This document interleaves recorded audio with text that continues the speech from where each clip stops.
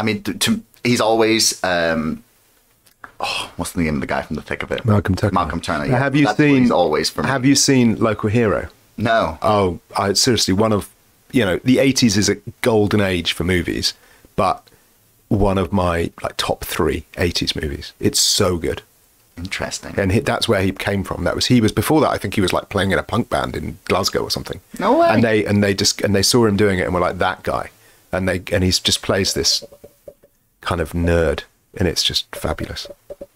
Local Hero. It's about oil exploration off the coast of Scotland, and it's the one of the strangest films. I'd highly recommend it. Great soundtrack as well. Okay, I'll definitely have to check that out. But anyway, right. Let's get going. Yeah, we can stop. So- stop talking about Peter Capaldi. Yeah. Well, I mean, it's a nice way to lead in. But um, so yeah, hello everyone. Welcome to another episode of Chatter. Today I am here with Oliver Bullough, author of Butler to the World. Thanks for the copy. Um, and Moneyland as well, and I'm sure a couple of other books um, that escape the name. Uh, yeah. But anyway, welcome to the show, man. Thanks for agreeing to chat. That's my pleasure. Thanks for having me here. So yeah, it took it took a little time to get you to get you here, but we got you here eventually. So how uh, how is Britain the world's butler? Like, what on earth does that mean? Well, okay. In order to answer that question, I need to go back in time a little bit because I'm a like a Russophile. I've always been, ever since I was a kid, much to the bemusement of my parents. I've always been really interested in Russia, the former Soviet Union, Eastern Europe, all of those things. So, I grew up in the 1990s, and that at that time, Russia was you know, it had overthrown communism. It was going through this convulsion. Democracy was sort of building, and I suppose I had this rather naive idea that that I could move to Russia and witness, you know, the development of a new democracy, of a new political culture, the kind of thing that you that only ever happens once, right? You know, because at that time there was this sort of strange, optimistic idea that the you know, liberal democracy had won, right? There was this idea, the end of history, this Francis Fukuyama book, you know, that liberal democracy had won and everyone's going to become Denmark, you know, or, or I don't know, America, whatever. um, so I moved to Russia in the late 90s and became a journalist. Um, and what I saw obviously was not the development of democracy in Russia. In, in fact, it was the opposite. Just after, uh, I just before I moved there, a couple of weeks before I moved there, um, Vladimir Putin became prime minister for the first time, and then he's been in power either as prime minister or president ever since. And he has overseen this, you know, first gradual and then more sudden erosion of all of the rights that were created in the 1990s political rights, business rights, media rights.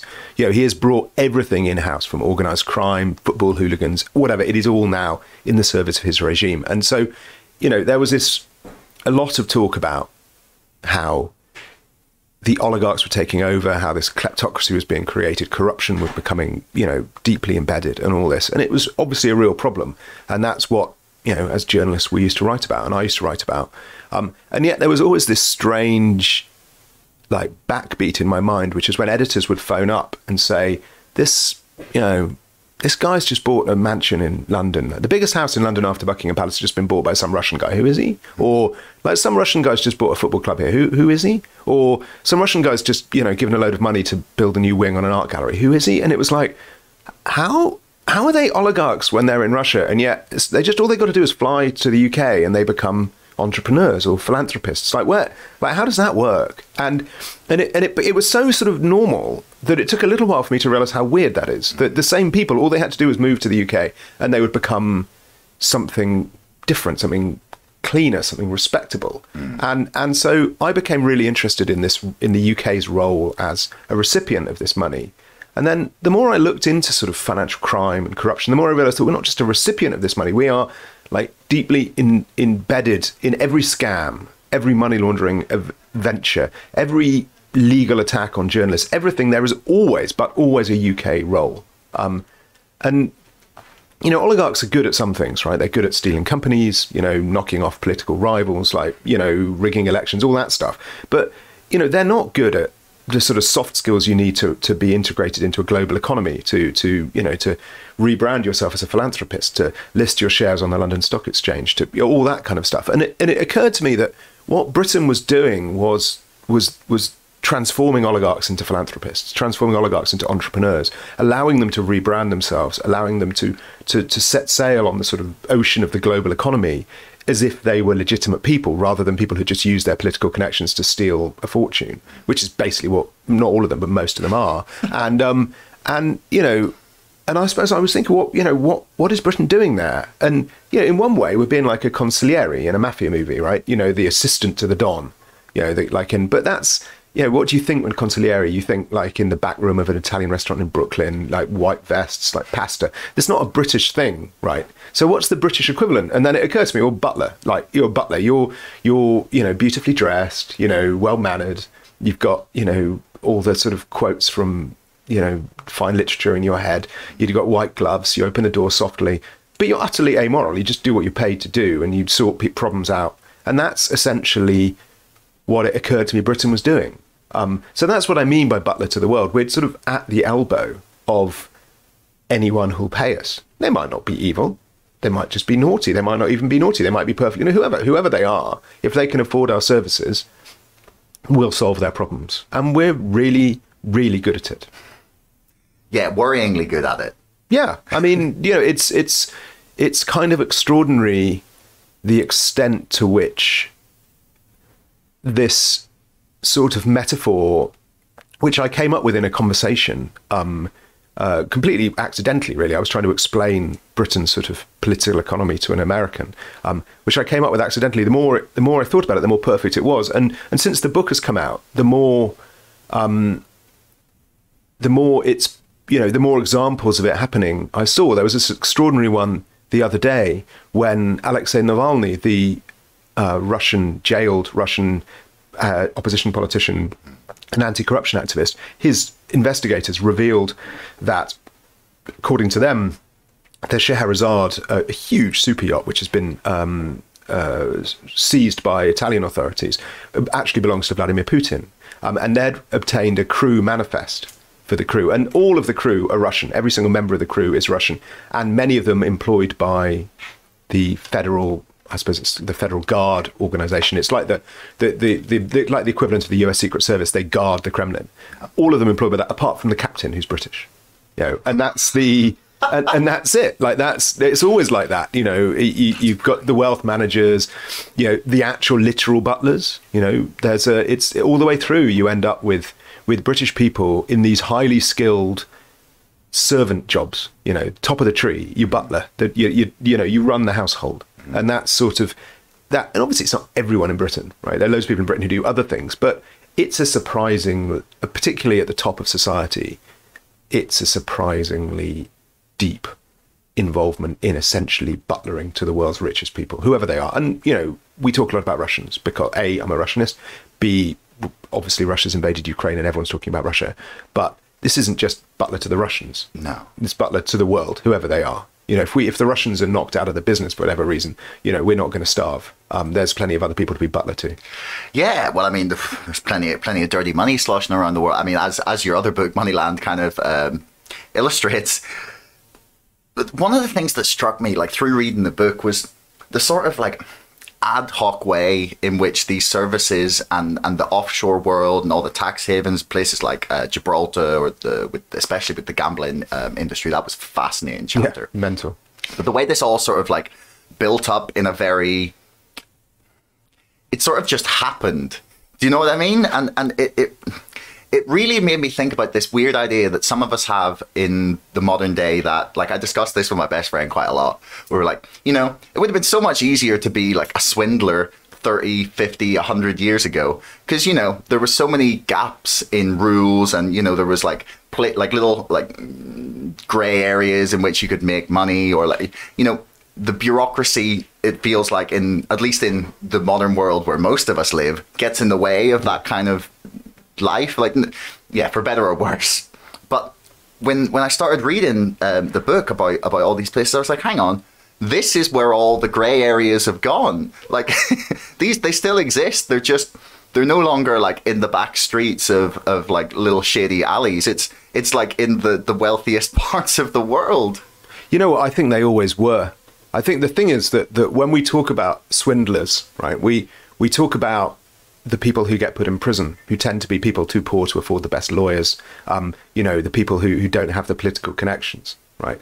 You know, it's the real crimes, You know, I mean, there's a saying, isn't it? The real crime is what's legal. Like that's what I'm fascinated by. The fact that you have this, if you are well connected enough, and if you are, you know, let's face it, bold enough, if you have the chutzpah, you're prepared to to make these huge plays for just to change, you know, the entire sort of political economy of the world, which is essentially what the story is that I'm telling. And but you make a really good point about the fact that in a way it just happened because you know, there's often a, uh, you know, I'm, I'm very guilty of this. I love having these long, drunken discussions about trying to explain something. Is this, was this corruption or incompetence? Like what, like, okay, the British government, right, right now, okay, not doing a great job. I think most people could agree. No, is that corruption or is that incompetence, right? And obviously, you know, most people would argue that it's a mixture of the two and it's, you know, and, blood and fire, but, you know, that's fine. But I actually think that there's a third concept, which which we don't have a word for. And I keep trying to come up with a term for, like a single term, which is things that are accidentally profitable. Um, and they're not, you know, they weren't designed, they weren't deliberate, they weren't intentional. But once you stumbled across them, that's pretty good. Mm. So we just keep making money out of that. And there's no real need to tell anyone because why would you reveal it? And because there's no one who really knows apart from the people on the inside, there's no real fuss about it. So there's no real stress to, to, to close this particular loophole you've discovered. So, I mean, you know, at the core of this book um, is this the development of London, the city of London, as an offshore financial services centre. So, having been the engine of the British Empire, the place that you know dealt in the sterling system, the pound, the you know the currency of the world, you know, and with the Royal Navy like steaming out bravely to conquer foreigners, and you know all that stuff. It obviously the city of London changed at some point into a place that just services other people. It doesn't serve, you know, the British national economy anymore because it, it's not, you know, a thing. So, so when did that happen? And that's the core of the transformation is this creation of offshore as an idea and as a concept. And actually, that it's something we just live with. We're used to it. But but looking at it at the very beginning of how it happened, it, it was an, an, accidental discovery mm. by some literally just a, a small group of bankers who realized that if and at the time, this is in the 1950s, the world financial movements were very, very restricted to try and stabilize the economy after World War II. They realized that if they just traded with dollars in London instead of pounds, it was as simple as that. If they used dollars instead of pounds, then there were suddenly no rules. Mm. Um, because there were rules for pounds in Britain and there were rules for dollars in the States. But if you took the dollars to London, there were no rules of any kind. So, and if there are no rules, you make more money than other people who have to obey rules. And so everyone came to London, like the American banks came, the Japanese, the Germans, the French, everyone came to London because everyone wanted a piece of this incredibly profitable deal, which was just, wow, strings free money. Um, and it totally transformed the world.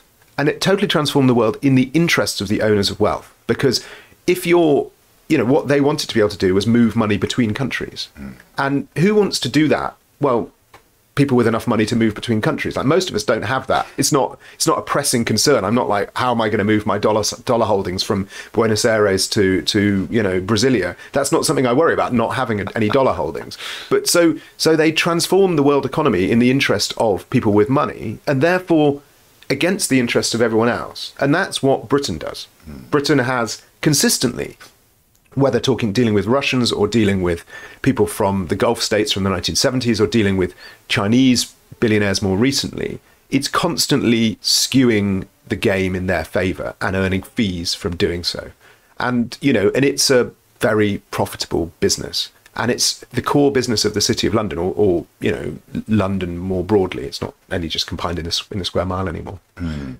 Like one of the things that that was really fascinating to me reading the book was the extent to which the, the the state of the financial like the global financial world in the 1930s 40s 50s where you're describing it where it starts to change with the with the Bretton Woods agreement in that yeah. sort of post-war era the extent to which the way things operated then are so inconceivable to me like I, I just I, even this this idea is like oh you can't you know it was difficult to move money around yeah. and I've come across this idea before when I was reading um, oh goodness me what was it? I think it was Owen Jones' book The Establishment yeah and he was talking about how Thatcher had um, scrapped um, almost all the capital controls through the 70s and 80s and I was just like hang on there were capital controls. I mean, what's what's really interesting about that, um, and, and Ronald Reagan, you know, did similar things in the U.S.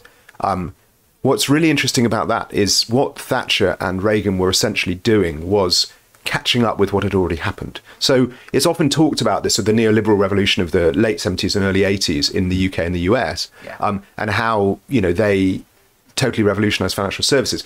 Actually, all they were doing was transforming the onshore economy so it now matched the offshore economy. The offshore economy had become so big, the, the unregulated part of the financial services sector, that they just essentially just transformed the onshore bit so it looked like the offshore bit. So what we have now, all dollars are now offshore. There is no such thing as an, an onshore and offshore dollar. They're the same thing. Um, you know, what essentially, in order to look for an equivalent to what it was like, you need to look to somewhere like, well, say Russia at the moment, which has a has capital control. So you end up with a black market in currency. What Britain created, we call it offshore, was a black market in dollars. Um, it was just a, a nicer way of, calling it. Um, you know, I used to I, I used to live in Central Asia. In Uzbekistan, there was a black market in som, which was their currency, and you could see the exchange rate change depending on how close you were to where the heroin came across the border, because it was you know a big drug smuggling route, and that was essentially what we're, we're talking about. A, you know, a purely market-driven, you know, pure supply and demand determining interest rates and, and exchange rates,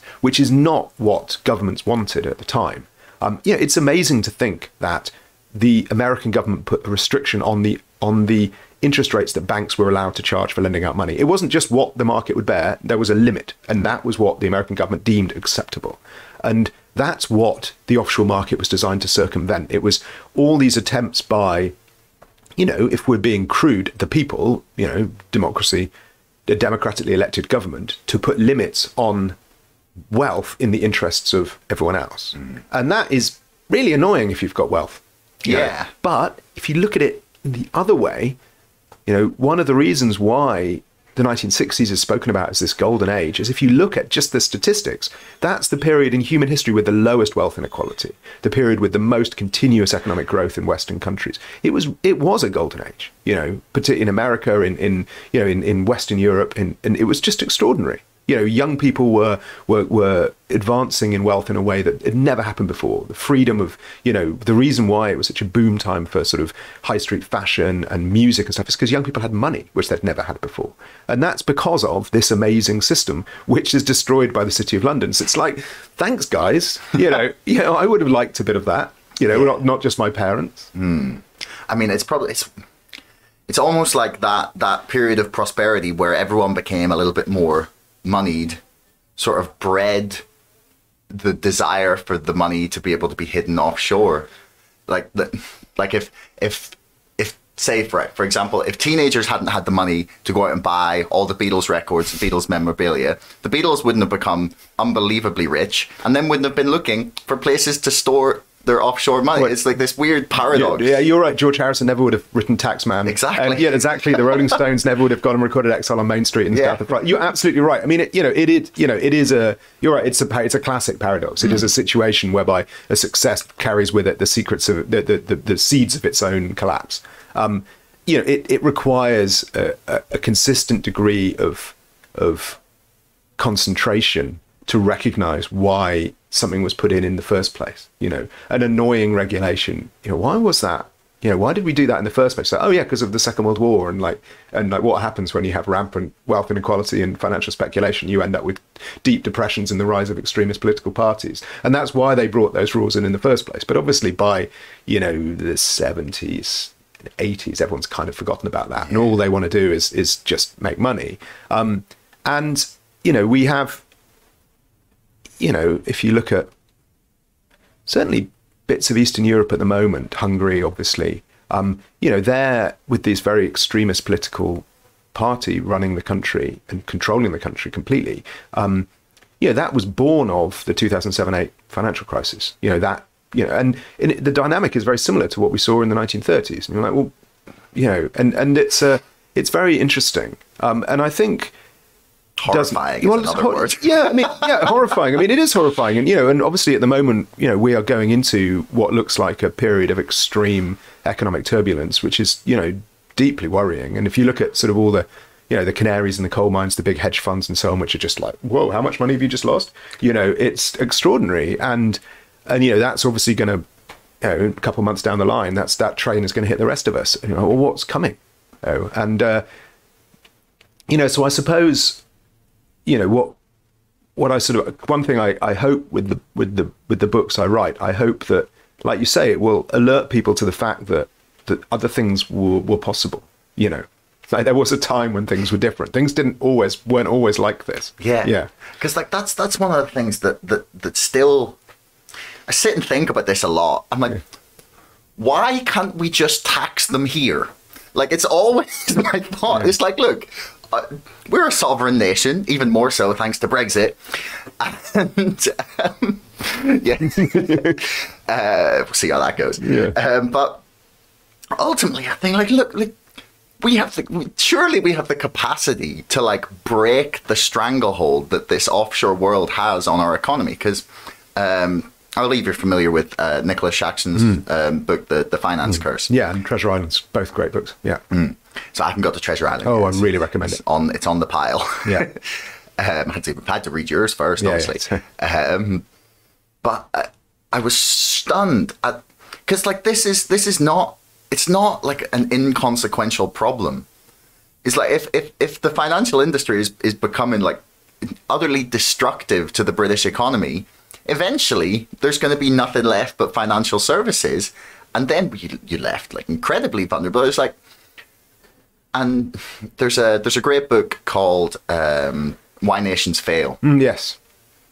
and they kind of plot this idea that that progress and and sort of yeah a, an increase in the political and economic power of like the whole of the country tends to come when the elites as such decide that like giving up that power is better off for everyone for them as well and i don't understand why no one like in power or anyone with any influence whatsoever is not going hang on lads like this is a really bad idea like we're really screwed if everything goes south and and well, I mean- what do you think it is that, that makes us like sort of ignore this big elephant in the room Well, I think there is. I mean, there are. Yeah, there are many points rising out of that question. Um, just to that direct question, um, I think that we overstate often how informed and I suppose uh, how well analyzed politicians are. You know, that the idea that they would know um, or have time to know or care um, about what's happening is, you know, uh, I think unproven. And, you know, in general, I speak to some MPs who, you know, desperately concerned about this issue. Obviously, the kind of people I speak to are the people who are concerned about this issue, you know, and, and I can find it extraordinary how little people know about something that I consider to be so important. You know, and partly that feeds into the problem of being butler to the world. So many of our brightest and best people have gone into serving the interests of the world's oligarchs because that's where the money is. That you do end up with other people, you know, running the country. That's an issue. Um, partly this this very kind of febrile political times means that who would be a politician? You know, just the abuse you get. I mean, who'd want that? You know, you have to be pretty mentally robust to want that, and that's a sort of a, a different point. Um, and then I suppose a third point, you know, the beyond so what you were saying about where when where nations fell, and I think this is actually an idea that that book introduced me to. I can't quite remember. There's an American writer called Mancur Olson who um, who who wrote this, who had this whole theory about how states came into being in the first place about stationary bandits that at once upon a time people lived in little groups and you had bandits who went and stole stuff. And then at one point they realized that it was more profitable instead of just making hit and run raids to just attack another group and then just stay there and just control them. And steal stuff all the time because why you know why why steal stuff and go away when you can just stay there and steal it all the time? Now we now call it tax. But that's basically what they were doing. And but what's really interesting is once the bandit lives in the same group as the people who the bandit is stealing from or taxing then the interests of the bandit and the group become aligned because the richer they become the more the bandit can tax So therefore, you end up with a situation whereby the bandit starts not just stealing stuff, but wanting to sort of, you know, preserve you know stability in order to make sure that there's more stuff to tax.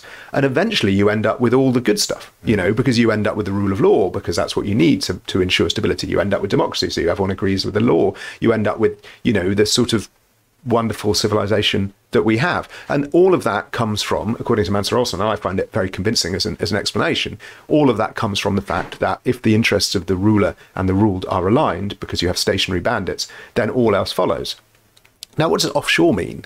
Right? Offshore means that the interests of the ruler in terms of looking after their wealth and the interests of the ruled are no longer aligned because the, because the wealth of the ruler is just somewhere else. Right? If you're ruling Russia, when it essentially comes down to it, if Russia collapses, you don't really have any skin in the game. Like you can, you, well, okay, yeah, that was that's a shame, you know. But you know, these things happen, and I'm just going to get on my plane and fly somewhere else, and and you know, and and that is a totally new phenomenon. Like that hasn't, you know, it is hard to overstate how new that is. I mean, you know, in the last 50 years, that has never happened in human history before, where people can predate, they can essentially colonize their own countries, you know, and and that is as a driver of instability and inequality is is new and really alarming because you know you know say what you like about say the czar of russia you know but when things went south he kind of went down with the ship like, yeah, yeah.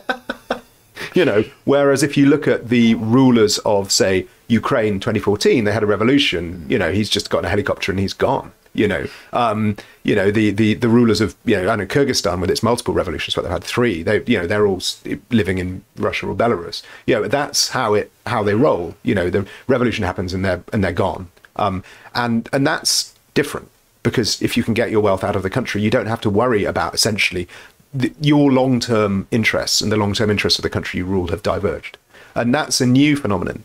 And and that's what uh, offshore has done. And therefore, if you trace offshore back to its beginning, that's what London did. You know, London created this this system. And other, you know, there's this argument, you know, consistently advanced by leading figures in the city of London throughout the 1960s and early 1970s that if London didn't do this, someone else would. So, you know, we may as well do it because if it's going to happen anyway, we may as well be the ones who make money out of it, right? Which is, you know, it's an interestingly amoral argument anyway. But, but you know, you can see the logic to it. But if you analyze what London has and what London provides and what London does, it, it, the argument isn't true. It is, I mean, theoretically true, but there literally isn't anywhere else that can provide the range of butlering services that London provides. You know, in terms of yes, Switzerland can hold your wealth for you, but it doesn't have the wealth management stuff, the libel stuff, the you know all that. And other places like America will educate your children very nicely, but you know, if you put your wealth there, you're going to be investigated by the FBI. You know, so in terms of a place that will keep your wealth safe, it won't investigate your wealth. It will sell you all the lovely bling that you want. It will educate your children. It will provide you super yacht captains. It will provide you literal butlers. All of that. London's the only place that can do those things, um, which is worrying and alarming, but also an opportunity because you know any changes that we can force the British government to make to check the origin of wealth that comes here, to to investigate it, to prosecute, and so on, to actually do some of those things, um, will have a disproportionate impact all over the world. It will have a ripple effect all across the world because no one else does what we do. Therefore, if we change the rules here, then the rules change for everyone, and that's really exciting. Mm. You know, so I mean, I try. You know, it, occasionally it can sound a bit forced being optimistic about a, a, a topic which is as depressing as this. But actually, that's quite an optimistic thought that, you know, there aren't many things Britain is world class at anymore you know, like to put it mildly. Um, but butlering, you know, we are, you know, the the, the Bayern Munich um, is standing alone at the top of the tree of or the, or the PSG. You know, like we that's that's what Britain is. You know. I mean that in that's, the that's, in, that's the German. We never never do that well in Europe. That that's a good analogy. I like that. Yeah, yeah. Although though um you know uh, though what's his name did well in Eurovision in probably, but you know there you go. Sam, oh, Sam not Sam Smith. Sam. he looks like he should be Swedish with his long hair, but anyway, yeah. he's not Swedish. yeah, maybe that's why he did so well. Everyone thought he was Swedish. I don't know. I mean, have you heard the controversy around all the Eurovision votes?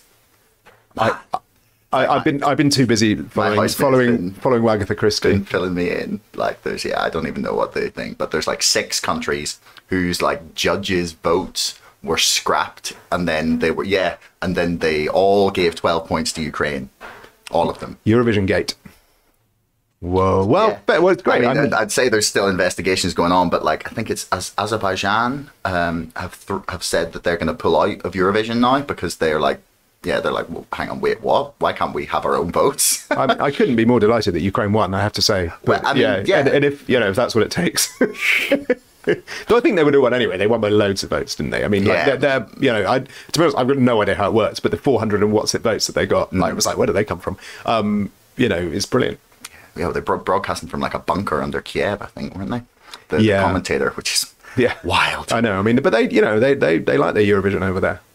Now you got something to sing about. I mean, it, you know, but it's. I mean, one of the most extraordinary things about what's happening in Ukraine at the moment. I mean, coming off that, Yeah. is the, you know, I, I so I used to live in Moscow. I used to have friends in Kiev, and I would quite regularly on a Friday afternoon, I would think, you know what, I'm going to go to Kiev for the weekend, and um, you know, I, I didn't, I, footloose and fancy free. How far is it? Um, it's an overnight train, so I would, you know, I'd go to the station, buy a train ticket, get on a train, wake up in Kiev, I'd be like, I'm here, I'm popping over for breakfast, and like, oh, brilliant, and then we'd all hang out for the weekend, and then I'd go back on Monday morning and go to work, and that was it, and it was like going from, you know, London to Bristol. You know, I mean, it's a different country, but you know, it felt part of the same kind of friendly space. Everyone had friends there, everyone had family there.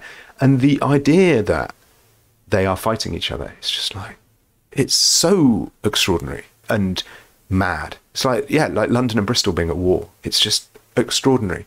And then, you know, on the front of saying, you know, they're going to host Eurovision, right? They've won, they have to host Eurovision. You're like, how is that possible? But this was like, it wasn't, how long ago was it? They had the Euros there, like what, in 10 years ago, hmm. you know, and it was fine. And, and it's just extraordinary, you know, to think that, you know, that, the, you know, they had games in, in Donetsk, which is now like a wasteland. Yeah. it's just the, the the what has happened to Ukraine is so extraordinary that it's almost of stretches comprehension to, to think back to what Ukraine was like a decade ago. You know, was this sort of totally ordinary place to have a European championships. And then, you know, who's to blame for that? Well, Putin's to blame for it. Why is he to blame for it? Well, because he was able to build up this kleptocratic, autocratic system with, you know, supported by a very tight, small group of just a few hundred oligarchs who essentially own everything. I mean, by some estimates, what's it, the top 500 people in Russia? This is a pre-war st- it's probably worse now. Top 500 people in Russia had more wealth than the bottom 99.8% of the population. It's Whoa. like inequality that makes America look like, you know, uh, like a sort of the, the chosen land. And that system, That's a that's that's a ridiculous. I know. I mean, it's extraordinary. know it was that bad. It's pretty bad, you know. And and you know, I mean, that's it's hard to estimate because of the offshore aspect. Because half of national wealth, more than half of national wealth, is all is held outside the country. But still, you know, you're you're looking at amazing inequality figures. And the reason he was able to build up this system, he doesn't, you know, Putin doesn't know how to how to you know run a you know a modern financialized economy. You know, he had help. And where did he get help from? Where do the oligarchs get help from? Well, here. Know, right here. and so, you know, all of these, this appalling, you know, you get sort of, ob- for obvious reasons, looking at what's happening in Ukraine, you get sucked into the day to day of, you know, the, the Mariupol and, and Kharkiv and, and the sort of horrors of, of, you know, what's happening or the fight, battle for Snake Island and all this stuff. But if you look at it, if you try and look at it over a decade long timescale rather than just, you know, the day to day thing, you realize that, you know, this is a, a Russian war machine that has been, you know, enabled at the very least in the in the in the kindest way of putting it by the UK. And it really highlights how for a very long time Britain has it's almost had two foreign policies. You know, we've had a, a foreign policy whereby we are with our aid budget we help the noble strivers for democracy and, and you know free media and all this. And, and you know and that's true and it happens. Money goes to to support you know free media programs and demo, demo, democracy programs. And at the same time you know a different bit of our foreign policy is providing world class financial services to all the people who are killing the people that we're helping you know. And that is just extraordinary. You know what caused the problem in ukraine? Well basically corruption and who helped them be corrupt? Well, we did. You know, we sold them shell companies. We moved their money. We sold them houses. And yet, who's now sending them weapons to? It's just it, it's uh the there's a sort of disconnect and a failure to understand uh, that contradiction, which is at at the heart of government and, and, and never is expressed the recognition that really that, that, that there's a contradiction between what we say we do and what, and what we actually do. You know, it actually, the, the contradiction makes a lot of sense in the context of a, a fantastic quote that has just sprung to mind from um, it's either Yes Minister or Yes Prime Minister. And um, Sir Humphrey says, Britain has had the same foreign policy for almost 500 years to create a disunited Europe. but like before we go back to the but I was gonna I'm gonna I'm gonna trump that a little bit with uh, my favourite quote from Blackadder. Okay. Which is when Baldric asks Blackadder why the First World War started. I mean obviously says it in a more sort of roundabout way, but essentially why did the First World War start? And Blackadder's answer is because it was too difficult not to have a war. I mean that's and that I think is a really profound truth for a lot of things. Like, why didn't we work hard to help Ukraine develop and become a prosperous democratic self? Because it was too difficult not to have a war. Mm. A lot of hands. I don't. I, you know, because my, I, I've been attempting to not say too much about the Ukraine Russia thing because I don't know enough. Yeah. And the, like, what I what I do know is that like five years ago, um, Zelensky was being touted as like the most corrupt leader in Europe. For whatever reason, I, I don't I don't understand enough of it. It's like it confuses me how he's become a hero. Obviously, it's because we don't want war. You know, Putin is not not yet doing good things by invading. But I don't understand how he became the hero. And the other thing, the main thing I wanted to ask you actually about this, if we got to it, yeah, it's like what is like you've spent time in Russia. Like, what is Putin's end game here? Because people say he's crazy and I don't. Th- I think that's a really bad way to look at it. Yeah, no, I, he's like he's ex KGB, and you never ex KGB, but he's a sharp operator, and I don't think he does anything without like a without thinking that he's going to come out on top. So, in so in answer to your first point about Zelensky, um, Zelensky and the entire Ukrainian political system um, is very hard to understand if you haven't spent time next to it. Um, now, it is the, the, Ukrainian political system is in. I mean, Ukraine is also very unequal, just like Russia, um, and was before the war. I mean, there's so much property has been destroyed. Who knows now? Um, the and incredibly corrupt. So these clans battling for control. But unlike Russia, it's pluralistically corrupt. So there are different clans, you know, regional clans, so a Donetsk clan, a Dnipro clan, Kiev, Odessa, all of whom battle for control and battle for, you know, all that.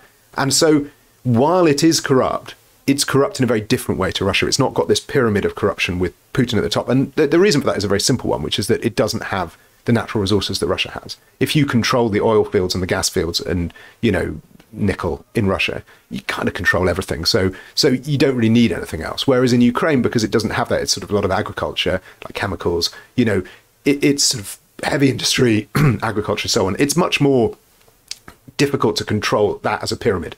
Like Yanukovych, the guy who was overthrown in 2014, tried to, and one of the reasons he failed is because he alienated so many of the other clans that that that they were prepared to stand by and allow him to be overthrown.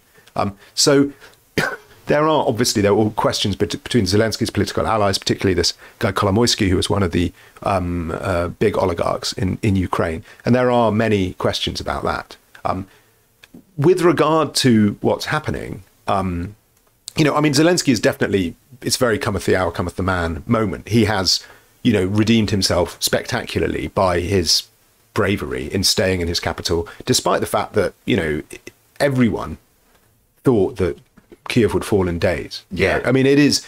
I've been stunned how long it's continued. It's astonishingly brave thing to do. So I think you know he deserves a lot of credit for that. You know, undeniably though you know that it does we do wonder after the war which hopefully will be soon exactly what the fallout will be. But anyway that's a different point we don't need to talk about that. But with regard to putin um, you know he is ex-kgb it's true and the kgb didn't take fools. However the kgb was a very large organization and it had many different parts and the very brightest people went into various bits. Now he was also first directorate which is the foreign intelligence wing, their equivalent of the of MI6, because it was all sort of wrapped together into one thing, or the CIA. Um, but he was posted to Dresden in East Germany, so he, he was posted to an, a less, an under prestigious place in a very under prestigious country to be posted to. He wasn't. There are KGB people like his uh, Sergei Ivanov, who's a close political ally, who was in New York.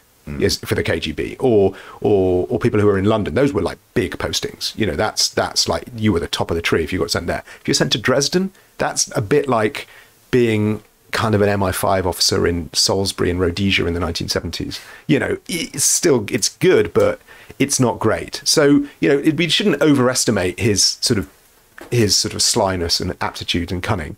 And also, I just like on a pure human level, um, if you imagine that Tony Blair was still prime minister, right? So I mean, they, you know, Putin became prime minister in '99. Blair was in '97. It's not that different.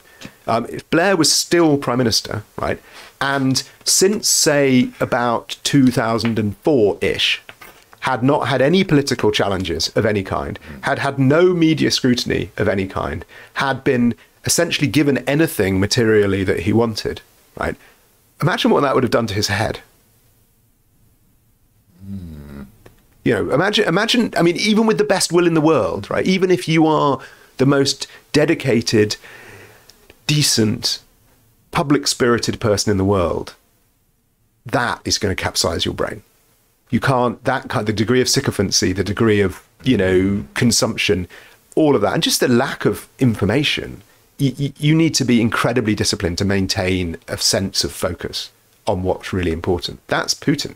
He has had no challenge, like for almost two decades, really. And you know, everyone telling him what he wants to hear, everyone surrounding him with you know bling, giving him what he wants. You know, he, it's not easy to retain your sense of of sort of what's important for that long. I'd say it's probably impossible. This is why end why presidential term limits are a good idea. Mm. And um, so I don't think he's crazy. No, he's a he, he, you know he clearly isn't. I mean, you could see you know how he acted in in you know his early years of his time in office when there was far more sort of media scrutiny of him and it's far easier to see what was happening. Um, he was a, a rational actor who who who did you know, took some really tough decisions. And I think had he stopped being president of Russia in 2008, history would remember him pretty kindly. But he couldn't, you know, get off the tree or get off the horse. Do you um, think he's become like victim of the the castle he's built himself? Yeah, he's like Louis the Sixteenth. Mm, you know, I mean that's interesting. That's what I think. And and so I think that you know if if yeah, the Russia has a very you know, large intelligence industry. It had lots of people on the ground in Ukraine feeding back information and so on. But if essentially you were being rewarded for telling people what they wanted to hear, you know, the incentives are just to, you know, so he, I, have no doubt that he thought that by sending troops into Ukraine, they would be welcomed with bread and salt and in, in days it would be over and they'd be able to impose a different government and everything would be fine. You know, he, I imagine in, in, in, the worst case scenario, it would be like Budapest in 1956. You know, there might be a bit of fighting in the capital and then it would be all over and it would be a fait accompli and everything would be fine. You know, and I, I think this is the fruit of what happens when you have, you know, a very out of touch politician at the top who's been flattered and told everything they want to hear. And, you know, he is, I think, probably really, really, really struggling to deal with it. Mm that is a perspective I have not heard from anyone. That is very interesting. I mean, I can remember really clearly when I was living in Moscow. You know, I used to go to the Kremlin quite often because you know that was just part of the job being a journalist. And you'd wait for Putin. He was always late, and you know you'd sit around and wait for him. And and even then, it felt like he had this cocooned existence. You know, like the if you imagine, you know, Tony Blair was giving I mean, uh, Boris Johnson was giving press conferences or press briefings and was just routinely two hours late. Right, he would be ripped apart by the media, like it just it ripped apart. That, I mean, that was normal for Putin. Two hours, two and a half hours, whatever. You just sit around and wait. You know, you'd, you'd go to sleep for a couple of hours. You know, that was just normal for him. I can remember when he gave a a he, a speech. There was a, a conference for the about global warming, and uh, so a couple of foreign politicians criticized Russia for not having joined this international effort to combat global warming called the Kyoto Protocol. Mm. And and he responded as if he'd been sort of slapped in the face. He sort of he kind of got up. He was all kind of fury and bristling like a man in a pub who's you know had someone knock his pint over. You know, it was and it, it was really unprofessional and weird. And um And I think, and that was, you know, 15 years ago. It's a little bit of Trump syndrome. Yeah, I think in a- it- you a- know- in a you know that that sheltered existence. Yeah, but more so because you know, let's face it, people have been mocking Trump as long Well, as as long as. Trump's been Trump. You Well, know, yeah. Mm. and Putin didn't. You know, he doesn't have that. You know, not certainly not in. you I mean, there was a guy. I think his name was Maxim Galkin, who was a who was a Russian comedian. He was very funny, and he used to be on this on the kind of evening news program on a Sunday night. Um, and he he did this thing when he you know it was all quite gentle the satire because you know by by the sort of 2003 4 like you didn't take the piss out of Putin really but he did this thing there'd been Putin had done a, a speech with a with a note and with a page in his notebook and he'd always turn the page of his notebook whenever he had to make a new point and it, and it was very noticeable and Galkin did this whole thing of doing a speech and then every time he turned the page there'd be like a drum roll like you know and it was really funny but you know, but it was pretty mild political commentary. I mean, it literally all he did was add essentially drum rolls. That was it, and he and he got sacked. You know, that's it. How dare you bring drum rolls to a to a reference to our dear leader? You you could almost you could you could consider that to be a compliment. Yeah, I mean, it's uh, the power of satire. Yeah. You know, but but in you know in the long run, you know, if you don't have people mocking you a bit, you know, you need to have people mocking you a bit or, or criticizing you or something. Otherwise, you you you sort of vanish into a, a weird world of conspiracies, which I think is where he's at. I mean, this this essay he wrote last summer about you know the the oneness of the Ukrainian and Russian peoples. It's bonkers. Yeah, properly like like like crazy Facebook like crazy Facebook comments. What is the like being in Ukraine? Like, what is the level of like sent like pro-Russian sentiment in like the parts in the like say the east of Ukraine versus uh, the west of Ukraine? Like, is there uh, you know Crimea was as far as I was I've been informed Yeah. Like quite pro-Russian. Yeah, it, it was. A lot of Russians had retired to Crimea. Um, the place is historically Russian speaking. There was obviously a very big Russian naval base there, which was a big employer. Um, so Crimea was always slightly different. Um, there, there was before sort of 2014. There was a difference between the east and the west of the country in terms of um, their connections to Russia. People who lived in the west who are first language Ukrainian speakers, though they tend to speak Russian as well, but as a second language. Whereas in the East, it's the other way around. Everyone speaks Ukrainian, but it's as a second language. Um, where the people were there would often go to Russia to work in factories and so on. They'd you know you know go for a few months to work at a time in Russia. Whereas in the East, it was more people. In the West, people would more go to work in Poland. You know, so there was a difference in, in people's worldview and everything. But since 2014, it's been because since Putin annexed Crimea and and and and the and then the invasion of the east of the country began, um, there's been a real change in attitudes, even in the Russian-speaking parts. Um, and I found the the most remarkable demonstration of that. I remember this in 2014. It was hilarious when you know because Ukraine has you know, very well developed football culture, big football clubs, um, of which the Shakhtar Donetsk and Dynamo Kiev are like the most famous, but like has from all the other cities as well. And they play against each other, and they have ultras who you know like to have a have a have a scrap, um, like ultras everywhere, and they all have their songs, uh, you know. And then in 2014, they all adopted the same song, and it was. Um, to the tune of Speedy Gonzales, that na na na na na na na na, and you'd have the whole crowd, like sixty thousand men, na na na na na na na na, and then it would end with Putin huilo, which means Putin is a dickhead, and and you would get this like like these huge stadiums. And I remember like the most hilarious bit is when Ukraine went and played a qualifier in Belarus, and the whole Ukrainian crowd is singing this, and then the Belarusians start singing it too. Like the whole stadium is singing "Putin is a dickhead," and like, and and you know, Putin in a way, I think his like from you know a Ukrainian perspective, his role is the great uniter of the Ukrainian nation. He brought them together um, in a way that that no one else had managed to do, and because of you know he was so it was so sort of egregious the way he preyed on them, you know, and at their moment of weakness, and you know, and it's yeah, there's been a yeah, let's face. I mean, Ukraine isn't a perfect place by any stretch of the imagination. You know, read my books. I mean, it's it's uh, you know there is a huge amount of corruption in, in Ukraine as well, um, but it was always a much more pluralistic, open society than Russia. You know, by you know in in this certainly since the millennium, and um, and it need that that need it needs to get credit for that because it doesn't you know you, you get a lot of nonsense talked about Ukraine and and it you know it's just a Eastern European country like Poland or something. It's just another one of those. Like, and and it, and it should just be left in peace to get on with being an Eastern European country. You know, and the you know the age when big neighbours got to dominate Eastern European countries should have passed a long time ago. Mm. Yeah, probably. So to go back to get back to the butlering, Yeah. Um, yeah, I can go on about Ukraine all day. Um, so are there any benefits to being the world's butler? Do we see like is there a good bit of this? Well, the, I mean, it's benefits for the people who earn the fees. Well, yeah, true. I mean, you know, so yeah, it's it's it's reborn. The city of London was reborn doing this, right? This is this is the the modern city of London is born out of offshore and butlering. This is what it does. So yeah, that's been a huge you know, driver of economic growth in the southeast of England and a earner of tax revenues.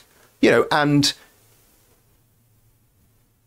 at some point, I think it became too big. This is what Nick Shaxson writes about in The Finance Curse. It became too big and it became a drag on the economy rather than a, you know, a, a solely beneficial.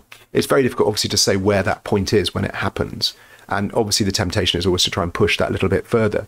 But I think it's, you know, as I think as, as Nick writes, I think it's a very close analogy with what happens with, with when you find oil. You know, the resource curse, you know, at first you're like, wow, free money and then it's it almost invariably, you know, corrupts. Yeah, there's this fascinating comparison between the economies of Nigeria and Tanzania, which started off at a very similar level at independence, and you know, and and and oil has just ruined Nigeria. You know, and same with Libya. Um, there's this great line I think from the king of Libya before he was overthrown. You know, if only we'd struck water, and um, and that's you know that's the you know it, it's careful what you wish for. So, you know, there are benefits, obviously. You know, it brings in money and all that, but but it's a question of when it becomes too big. And I think in the long term, you do end up with this brain drain um, towards butlering because it's so profitable and there's so much money in it that you end up with you know, your brightest people not becoming, you know, more constructive people, instead becoming servants to the super rich, and that has a knock-on effect on all the other sectors of the economy. You know, I think it's you know, is it connected that we seem to have a, you know, I don't know whatever the opposite of a golden generation of politicians at the moment. I mean, you look around, you know, the the cabinet table. You, say, you don't think any uh, would one of them have got into John Major's cabinet or Tony Blair's cabinet?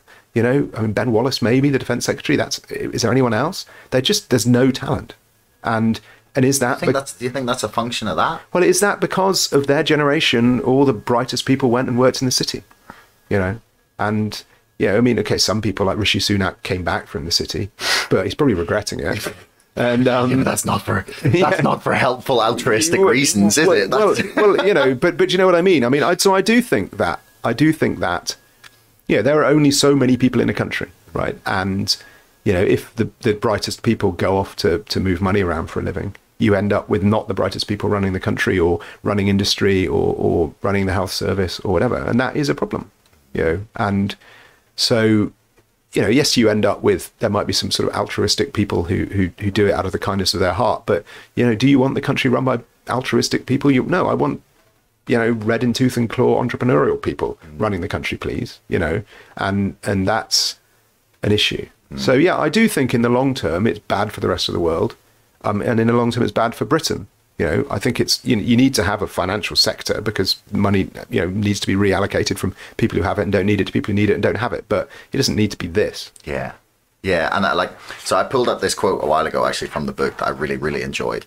Um, and it said this: uh, the strange aspect of all this is that the bank belonged to the nation. Surely, therefore, the government could just tell it what to do, replace any directors who oppose its policies, and force it to recruit economists to broaden its horizon. This is a question I often have. Uh, the Bank of England's the, the, the Bank of England is at the core of offshore. The Bank of England is what made offshore happen, what gave permission for it to happen, and and and or more importantly, didn't stop it from happening. Other countries stopped it happening. It, you know, the, the the same dynamic that gave birth to offshore finance in the UK. It, it also happened in Switzerland, in Canada, in, in, in other places, um, and it, they and it didn't go anywhere because they it was squashed it was because of the Bank of England that it wasn't squashed here. And there's, you know, these great, if you had a time machine, what would you do? You know, this great go back in time to the Attlee government and say, yes, nationalise the Bank of England, but also just change its entire managerial ethos completely, like just sweep it clean because they, they, they nationalized the Bank of England, but they didn't, it was still run by the elite of the merchant banks who'd always run it. And so it didn't actually change what it was doing. It didn't change how it functioned. Um, and, and that, you know, they didn't go far enough. And, and that it's just a small, tiny thing that at the time they must have, they had so many things to do, right? They must have thought, oh God, this isn't a battle worth picking you know, like at the time the city was moribund, right? I mean, nothing was happening in the city anyway. Why bother? Yeah. You know, and yet There was bigger fish to fry. exactly they had to build the a health service and try and rebuild the economy and, and try and make sure everyone had food and everything. I mean, you know, th- this seem, must have seemed so irrelevant, mm-hmm. and yet with retrospect, that unreformed bit of the economy was the bit that ended up, you know, dooming the Bretton Woods agreement and, and dooming the sort of favouring of productive over speculative capital and all the things that, you know, would have been great if we could have maintained it. So how, to sort of, as a view of wrapping up here soon, because I know you have to go for your for your other thing. Do, do. Um, oh, don't look so bad. You know, better busy than than sitting around with nothing to do. No, it's just going to be a tough interview. Yeah, anyway. Are you saying this wasn't a hard interview? yeah. It's, How do we break this stranglehold of the, the, the and this this yeah this this favoring of speculative capital over productive capital? well, I mean, that ship has sailed, right? That, I mean, that, you know, that, that's, you know, that is not right now the battle to pick. You know, that is, that is, you know, 50 years down the line. You know, right now, the issue is, to my mind, the fact that the money that pours through the city day in, day out is unchecked. Un, and we have rules, perfectly good rules, you know, mostly, I mean, mostly, not all perfectly good, but the changes to make to make them perfectly good are small. They're as good as anyone else's. Um, they're just not enforced.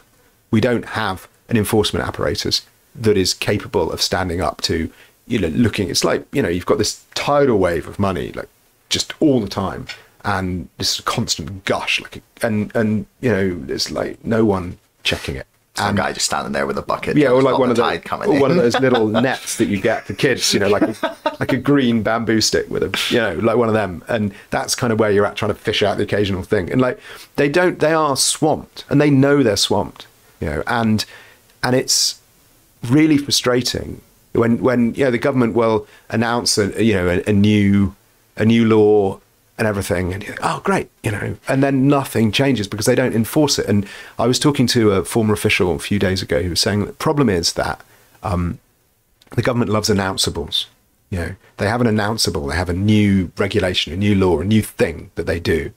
But but the hard work of actually making that translate into real change is you know what's it david cameron said? Why should i do the hard shit? Yeah. You know and that's the attitude and has been the attitude not just under the tories but under labour too. It's been the attitude for decades. And you know they they get all the political you know credit for having passed a law and then they don't have to do any of the hard stuff. And i heard this called the other day legalization by under resourcing um, when essentially you you you you, you don't get rid of a law you pass a law the law exists but you just don't enforce it so it, essentially what you have is legal. And that's what we have like this you know epidemic of fraud like and just common or garden fraud. I'm not talking about like grand corruption like just people losing 20 30 40 grand like life-saving sums of money but life-changing sums of money but not enough for the police to bother returning their calls you know because that well you know this is just happening every day.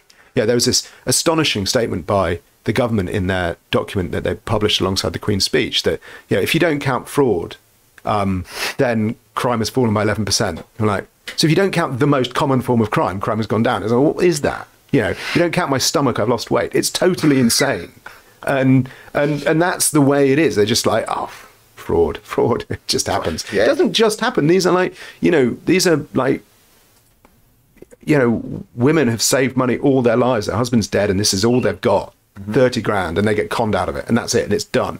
And it's not just the, the financial loss, it's the humiliation. You know, I can remember when my, um, my wife's uncle, he got conned by someone who said he'd repoint the front of his house. And, yeah, he was in his 80s, and he'd, he'd been a, he'd had a really successful career, you know, he'd been a really, like, impressive guy in his field. And, um, and he just felt diminished, small, because this asshole had defrauded him. And there's no pushback. The police don't. They, it's not the police don't want to. The police are as angry about this as I am. You know, they just don't have the people all the time. You know, and that's what I find despicable. Really, is that the government's just. Yeah. And what's also final point, right? Because I can rant about this all day. Oh, please. What's particularly annoying is that all examples of places where they have done this properly, investigated financial crime properly. Ireland has done a really good job of it. Spain has done a good job of it. Um, Italy has done a good job of it. The US has done a good job of it. It's a profit center. If you Yes, in- doing a good job of it. the U- yeah, the US is good at prosecuting, you know, big financial crimes, the big banks. The US is like nine. I am going to take serious exception to that. Seriously, if you look at the, the fines the US levied on HSBC, on BNP Paribas, on Standard Chartered, you're looking at nine-figure fines, billion-dollar fines. You know that is that that will make anyone sit up and take notice. Then nothing like that has ever happened here. Okay. You know that's like you know Comparatively, then, fair. enough. Oh, yeah, yeah, I mean, massive. You know, there's nothing like that. There is no, no equivalent in any other country in the world. Yeah, I mean, no one's doing, no one, okay, maybe a good job is a bad word. We're talking comparatively, but, but in terms of like people who take it seriously, who investigate it, who do the hard yards, who bring the cases and win the cases, the US does that. You know, doesn't do everyone, obviously, but, you know, and maybe should, they should be doing more because everyone should be doing more. But, but the annoying thing is that if you invest money in investigating and prosecuting financial crime, it's a, it, it makes money. Yeah. You, it's like a one to seven return. And so why don't we do that here? You know, we need money. Do it here. Take it from criminals. Anyway, That's a nice way to end things. rant over. Anything you'd like to plug before we finish? Obviously, your book, Moneyland. Not Moneyland, sorry. Money, Butler to the World. Butler to the Moneyland world. as well. Moneyland as well. Butler to the world. I mean, other other great books that we mentioned. We mentioned Nick Shaxson's book, Treasure Islands and the Finance Curse. Great books. Mm. Um, and uh, and other books in this space. Uh, Catherine Belton's Putin's People. Fantastic book if you want a book on Putin. Um, uh, really, really uh, thorough, well researched, you know, astonishing piece of work. Um, and basically, that's it. Okay. If you well, want to find out about me, I'm always on Twitter too much at Oliver Bullough. Um, and that's about it. Well, there we go. Thanks very much, man. Thank Pleasure. you. My pleasure. Thank you for having me. Thanks for making it all the way to the end of the podcast. If you want to leave us a comment, that would be awesome. Please like, share, subscribe, and if you're listening on Apple, please leave us a review. Until next time, thanks for listening.